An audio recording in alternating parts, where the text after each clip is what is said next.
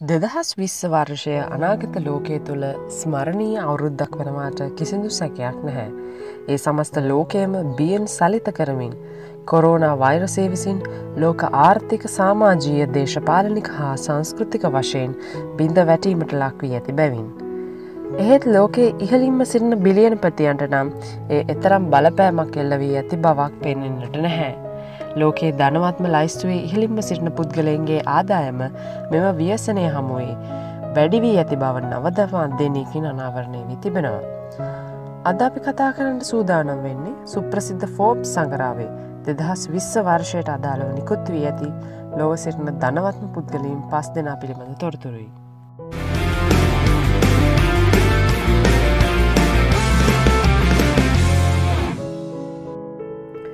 අංක පහා වැරන් Buffett ඔමහා oracle යන අනවර්තනාමයෙන් හඳුන්වන එදසම්සිය තිහ වර්ෂය උපතලද වැරන් බෆට් ඇමරිකානු ආයෝජකෙක් ව්‍යාපාරිකයෙක් සහ දානපතියෙක්. බර්ක්ෂය හැත්තේ නම් සුප්‍රසිද්ධ ව්‍යාපාරයේ සභාපති සහ ප්‍රධාන විදාහක නිලධාරය වන්නේ ඔහුයි. දෙදහස් විස්ස වෙනුවට ඔගේ ශුද්ධ වත්කම ඇමරිකන් ඩොල බිලියන හැත්ත පහදශම හතක් බවටයි සැලකෙන්නේ. ඔහු ව්‍යාපාරයකට තම පළමු කොටස් ආයෝජනය සිදු කරන්නේ ඔහුට අවුරුදු එකොල් හැදීවීම විශේෂත්වයා. වරක ඇමරිකාවේ හාවර්ඩ් ව්‍යාපාරික පාසලින් ප්‍රතික්ෂේප වනත්. ඔහුගේ නොපසු බට උත්සාහය හමුවේ ලෝ ප්‍රධාන පොහොසතු නොතර එක්වන්නට ඔහුට හැකියාව ලබෙනවා. එහෙත් එදස් නම්සය පනස් අටේදී ඩොලර් තිස්සෙක් දස් පන්සියකට මිලදීගත් කාමර පහකින් සමන්විත වන සාමාන්‍ය මධ්‍යම පාන්තික නිවසක වැරන් පෆට් අදරත් ජීවත්වන බව ඔබ විශ්වාස් කරනවාද.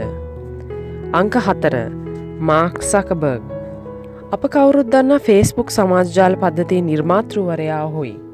එදදාස් නම්සි අසූ හතරේ නිව්යෝක් නගර උපත ලැබූ සක්බර්ග් දැනට ලොව ලාබාලතම බිලියනපතියන්ගෙන් කෙනෙක් වනවා. ඇමරිකාවේ හාවර්ඩ් විශ්වවිද්‍යාලයේ ආදි ශිෂ්‍යයකු වන ඔහු ෆේස්බුක් සමාගම සඳහා පූර්ණ කාලීනව කැපවීමට තම වටිනා උපාධි අත්හල කෙනෙක් බව දැනටමත් ඔබාසා ඇති. දෙදහස් විස්ස වන විට සකබර්ගේ ශුද්ධ වත්කම ඇමරිකන් ඩොල බිලියන අසූ තුනයි දශම හතරක් බවයි පැවසෙන්නේ. ලෝකයේ බිලියන හත්තකට අධික ජනගහනය අතරින් මසක් තුළ ෆේස්බුක් සක්‍රියෝ භාවිතා කරන පිරිස බිලියන තුනක් පමණ වනවා. ෆේස්බුක් පලට්ෆෝර්ම් එක නිල් පැහෙන් සැකසී ඇත්තේ මන්දැයි ඔබ දන්නවාද. මාක් සකබර්ග් උක්පතේ සිටම රත්තු කොළ වර්ණන්ධතාව යන රෝගෙන් පෙළෙන්නෙකු නිසා ෆේස්බුක් ජාලය හුට පැහැදිලිව නිරීක්ෂණය කිරීම සඳහා එය නිල් පැහැ නිර්මාණය කරන්නට සකබර්ග් තීරණය කරා. අංක තුන බර්නාඩ් ආනෝල් සහ පවුල එදදාස් නම්සී හතලිස් නමේ උපත ලබන බර්නාඩ් ආනෝල්ට් ප්‍රංශ ජාතික ව්‍යාපාරිකයෙක්. සුප්‍රකට LVMH ව්‍යාපර්ජාලය අයිතිකරුවන ඔහු බහමාසීපීට ඉන්ඩිගෝ නම් දූපතේ සාඩම්බර අයිතිකරුවාද වනවා.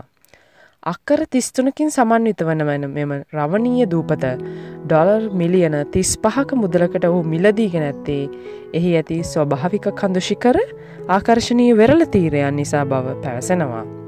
එම දූපත තුළ ඔහු වෙනුවෙන්ම ඉදූ අති නවීන ටෙනිස් ක්‍රඩාංගනයක්ද දැකිය හැකි. එල්වMH යන හොගේ ව්‍යාපාර ජාලය මිලාධික විලාසිතා ආයිත්තම් ඇඳුම් පැළඳුම් රූපලාවන්න ද්‍රව්‍ය ආභරණ සුවඳ විලවුන් මධ්‍යසාර වයින් වර්ග වගේම ඔරල්ලෝස්වාදී නිෂ්පාදනයන් ලොව පුරා අලවිකරණය සිදු කරනවා.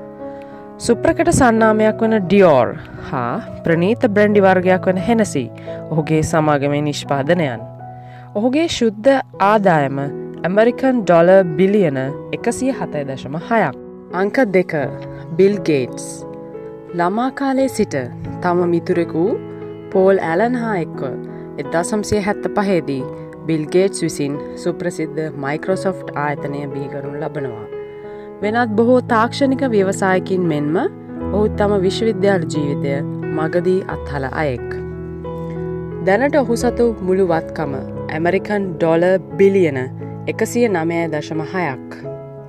එදසම්සි අනු හතරේදී පවත්තන ලද ප්‍රසිද්ධ වෙන්දේසියකදී ඩොලර් මිලියන තිහයි දශම අටකටම ගත්.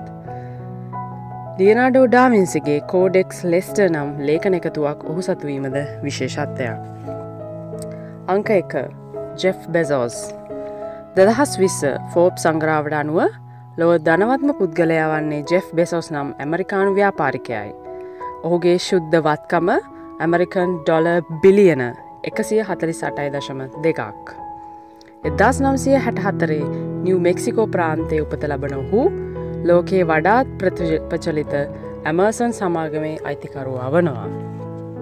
එදා සම්සිය අනු නමේ ටයිම් සංගරාවට අනුව ඔහු වසරේ පුද්ගලයා ලෙස නම් කෙරුව අතර ඔහු එක් තප්පරයක් තුළ උපයන ආදායම ඇමරිකන් ඩොල දෙදහස් පන්සීයකට ආසන්න බව ගණන් බලා තිබෙනවා. එය ඇමරිකාවේ උගත් මධ්‍යම පාන්තිකයෙකු රැකියාවක නිරත වී සතියක් තුළ උපයන ආදායම්මෙන් දෙගුණයක් බවයි පැවසෙන්නේ. අවඩිආරේට් මැක්ලරනෙෆ් ලෙක්සසෙල්ලෆේ වැනි අති නවීන සුපොබ්බෝගී වාහන එකතුවක්ද ඔහු සතුයි.